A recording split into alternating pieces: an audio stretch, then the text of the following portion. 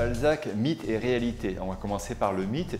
Et euh, à ma grande honte, je dois confesser que le mythe, c'est la façon dont le musée a très longtemps présenté l'écrivain, présenté notamment à travers son cabinet de travail, où l'on montre quelque chose qui n'est pas faux, mais qui est insuffisant. Nous présentons dans le cabinet de travail un écrivain qui est seul, la nuit, à écrire, à rédiger, à présenter ce monde romanesque extraordinaire la vision n'est pas fausse, mais elle est incomplète. En effet, si Balzac n'avait travaillé que chez lui pendant la nuit, attaché à sa table de travail comme un galérien à son banc, pour reprendre l'expression qu'il utilise lui-même, eh bien, nous n'aurions pas la comédie humaine.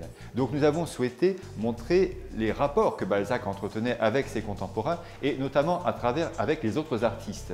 Donc une salle complète présente les relations de Balzac avec quelques-uns des artistes les plus connus. On ne les a pas tous montrés, mais nous avons voulu montrer comment le contact avec Georges Sand, avec Lamartine, Victor Hugo, Théophile Gautier avait influé sur l'œuvre de Balzac et de manière extraordinairement variée.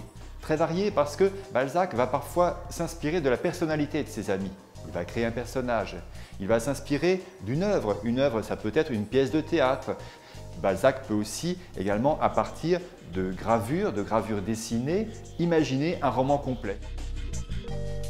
Dans une seconde partie, nous présentons cette fois-ci le regard que les contemporains portent sur les artistes en général et sur Balzac en particulier naturellement. Et ce regard, on s'en rend très vite compte, est uniquement composé de caricatures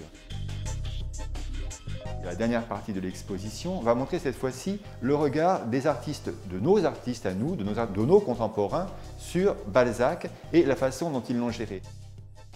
Aujourd'hui, Balzac est utilisé par les artistes comme un terreau, comme véritablement une matière dont ils vont se nourrir et qui va ressortir sous des formes extrêmement diverses, extrêmement variées. Ce sont un peu tous ces regards qui sont posés sur les artistes que nous explorons à travers l'exposition. Ce sont donc des questions tout à fait contemporaines que Balzac avait déjà posées en son temps et qui restent vivantes aujourd'hui.